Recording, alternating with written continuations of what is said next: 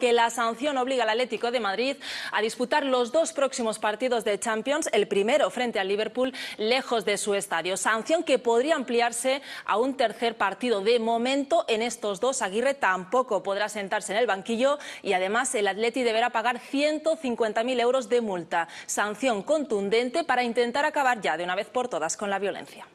Pues preste mucha atención, no se pierdan lo que ha dicho Fernando Torres a su compañero Icar Casillas esta mañana sobre eso, sobre el cierre del Calderón. Debió ser una premonición. En fin, también tenemos ya las primeras reacciones a esta sanción por parte del Atlético de Madrid. Hace unos minutos ha hablado el gerente del Atlético, Clemente Villaverde, y uno de sus jugadores, Luis García.